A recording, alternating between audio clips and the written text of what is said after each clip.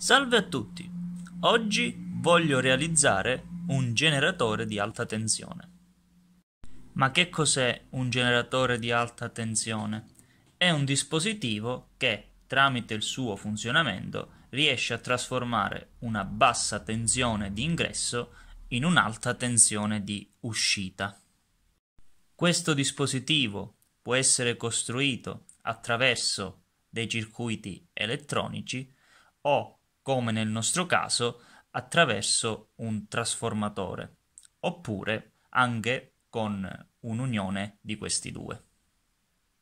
Per realizzare il generatore di alta tensione andrò ad utilizzare un trasformatore di microonde che, come vediamo qui, riceve in ingresso una 230 volt e ha in uscita una 2300 volt, quindi al suo interno è costituito con un rapporto spire di 1 a 10. Inoltre il trasformatore da microonde riesce a trasferire una potenza di circa 1 kW, quindi è, è il candidato ideale per questo tipo di applicazione. È il circuito elettrico che intendo realizzare è il seguente.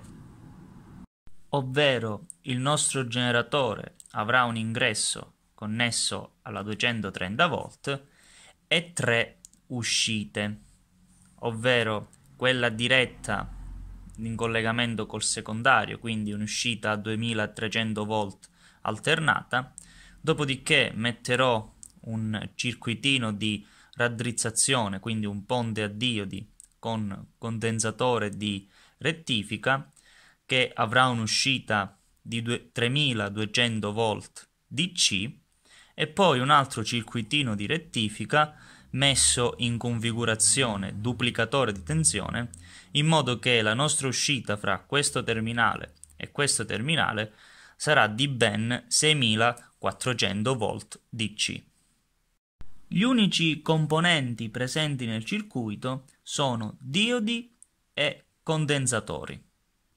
Il part number dei diodi che andrò ad utilizzare sarà l'R3000, ovvero un diodo capace di reggere fino a 3000 volt e che riesce a far passare una corrente di 100 mA, mentre per quanto riguarda i condensatori utilizzerò dei condensatori ceramici che riescono a reggere fino a una tensione di 4 kV. La realizzazione pratica di questo circuito però non è per niente banale, infatti siamo nel range delle alte tensioni e quindi bisogna avere alcune accortezze pratiche per non rischiare di trovarsi delle brutte sorprese. In quanto alle alte tensioni ci sono fenomeni di tipo elettrico come l'effetto punta o generazione spontanea dell'arco che ovviamente bisogna tenere in considerazione. Quindi questo circuito non può essere assolutamente messo su una PCB mille fori come questa qui, in quanto se ci fate caso la parte di sotto è tutta rivestita di metallo e lo spazio fra i pin non è assolutamente sufficiente a garantire l'isolamento elettrico del circuito. Quindi dovrò utilizzare una tecnica alternativa per realizzarlo.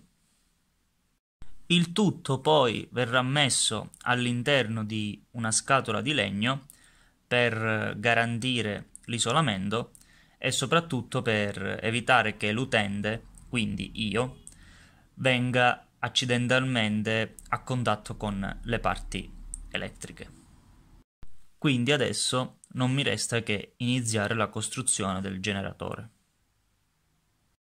Ho quasi ultimato la costruzione del generatore, ho già inserito il tutto dentro una scatola di legno e diamo uno sguardo a quello che ho fatto. In pratica qui abbiamo l'uscita del trasformatore a microonde questa è una fase collegata a questo ramo del circuito, mentre l'altra fase me la vado a prendere dalla sua cassa, quindi dalla, dal nucleo del trasformatore. E possiamo vedere come ho realizzato il circuito.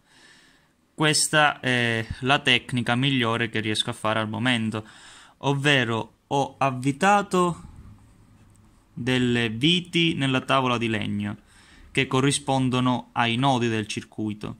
Dopodiché sono andato a effettuare dei, diciamo, dei collegamenti elettrici con i fili del doppino telefonico. Quindi in questo modo si riesce a garantire una sufficiente distanza per, per evitare che possano accadere fenomeni di, di innesco dell'arco all'interno del circuito. E, e qui vediamo i condensatori, si può leggere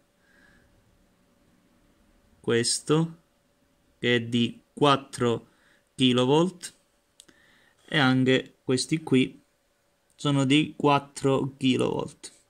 Ovviamente essendo di queste tensioni così alte eh, il valore è molto molto basso, sono entrambi da questi due da 2.2 nano e questo da 4.7 nano.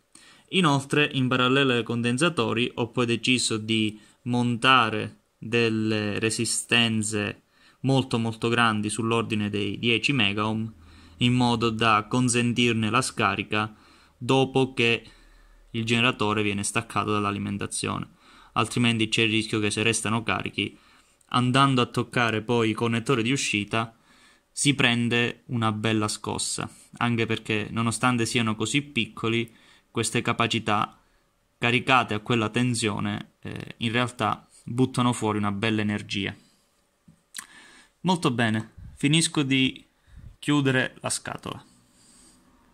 Ho ultimato la costruzione del generatore di alta tensione e adesso l'unica cosa che ci resta da fare è qualche test. Ovvero andremo a creare qualche arco voltaico. Quindi andrò ad utilizzare l'uscita AC del nostro generatore e andrò a collegare una delle due fasi alla terra di casa. Infatti, il segreto per andare a creare archi voltaici molto energici è quella di mettere una di queste due uscite a massa, quindi banalmente appunto alla terra di casa. Ecco qui, ho effettuato i collegamenti per il test, eh, abbiamo la presa, appunto i tre fili, dove la fase e il neutro arrivano in ingresso al generatore, mentre la terra è connessa ad una fase di uscita, precisamente quella connessa poi al case metallico del trasformatore.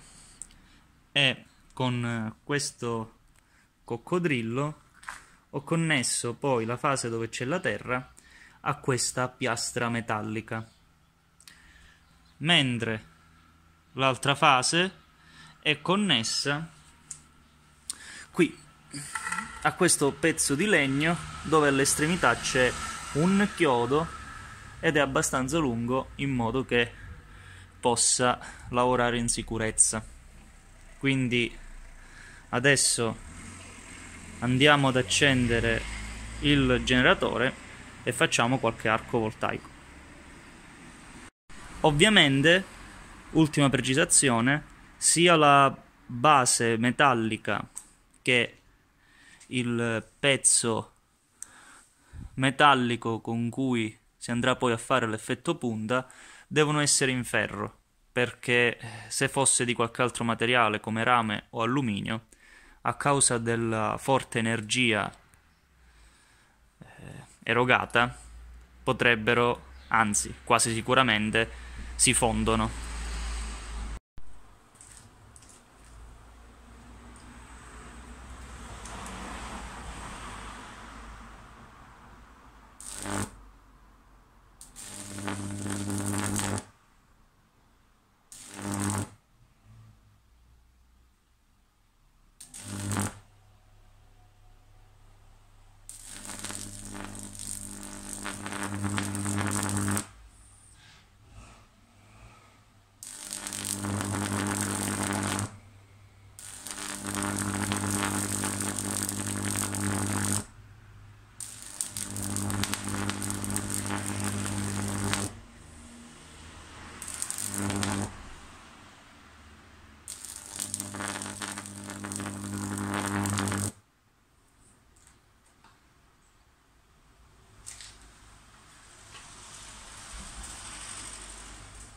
Ecco qui i risultati dell'arco voltaico.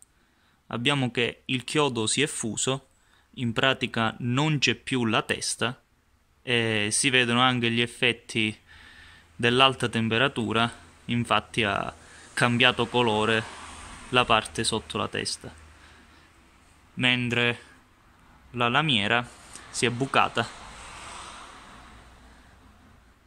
Si vedono chiaramente dove ci sono stati i punti di contatto dell'arco. Molto bene, quindi come abbiamo visto il generatore di alta tensione funziona perfettamente, ma prima di concludere il video voglio fare le ultime due precisazioni. La prima è che questo dispositivo non è fatto per essere maneggiato, quindi quando intendiamo usarlo lo posizioniamo nella sua posizione che abbiamo scelto, sistemiamo tutto, dopodiché diamo corrente e ci allontaniamo. Se vogliamo riavvicinarci a lui, dobbiamo necessariamente staccare l'alimentazione perché la pericolosità quando è attivo è davvero troppo elevata. La seconda precisazione è che quando vi vorrete anche voi divertire a fare gli archi voltaici, questi non vanno assolutamente osservati, non vanno assolutamente guardati. Infatti, quando sono così energici come quelli che ho prodotto io oggi, eh, beh, sono una forte emissione di raggi ultravioletti, un'emissione molto molto superiore rispetto ai, alle saldatrici ad arco che si vedono normalmente utilizzare. In quanto mentre le saldatrici lavorano a bassa tensione, questo generatore produce degli archi ad alta tensione, quindi l'energia dei raggi ultravioletti emessi è di molto superiore. Molto bene, per questo video è tutto. Alla prossima!